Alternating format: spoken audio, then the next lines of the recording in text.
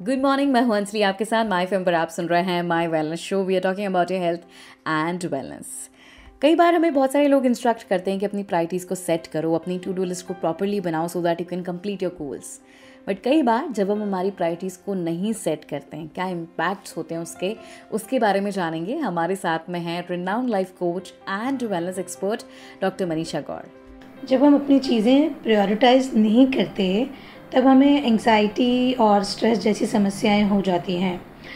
तो प्रायोरिटी कैसे तय की जा सकती है, कैसे तय की जानी चाहिए?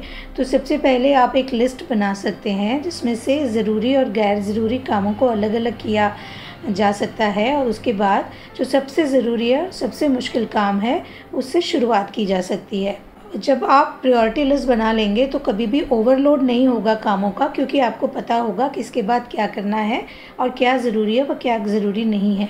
और प्रायोरिटी लिस्ट बनाने से आप उसमें हर काम का समय तय कर लेते हैं और उसी समय पर उसे ख़त्म कर लेते हैं तो सभी काम एक एक करके आप कर पाते हैं। और सबसे इंपॉर्टेंट चीज़ तो मुझे ये लगती है कि अगर हमारी प्रायोरिटी लिस्ट सेट होती है तो हमारा टाइम मैनेजमेंट अपने आप में बहुत स्ट्रांगली हमारे डे को स्ट्रक्चर दे देता है।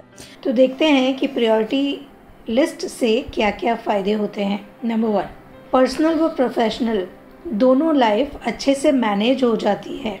नंबर टू आपका रूटीन सही हो जाता है और आपको दिन की शुरुआत में ही दिन का फ़्लो पता होता है और दिन के साथ साथ आपको अगले हफ़्ते का और अगले महीने का फ़्लो भी पता होता है। Number three long term goals set करने में आसानी होती है और यदि लॉन्ग टर्म गोल्स सेट करने में आसानी होती है तो उन्हें अचीव करने में भी आसानी होती है।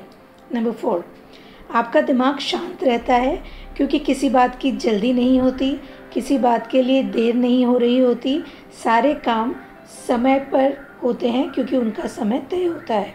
नंबर फाइव आपकी टालने की आदत ख़त्म हो जाती है। डिस्ट्रैक्शंस की गुंजाइश ख़त्म हो जाती है और ज़िंदगी शांति और सुकून से निकलती है। एग्जैक्टली exactly, क्योंकि जो हम हमारी टू डू लिस्ट बनाते हैं उसमें डिस्ट्रैक्शन का भी बहुत इंपॉर्टेंट रोल होता है। तो अगर वो चीज़ें थोड़ी सी साइडलाइन हो जाए तो हमारी जो प्राइटी लिस्ट है वो अपने आप में बेहतर और अमेजिंग साबित होती है। माई फेम पर मैं हूँ अंसली आपके साथ आप सुन रहे हैं माई वेलनेस शो चलो आज कुछ अच्छा सुनते हैं।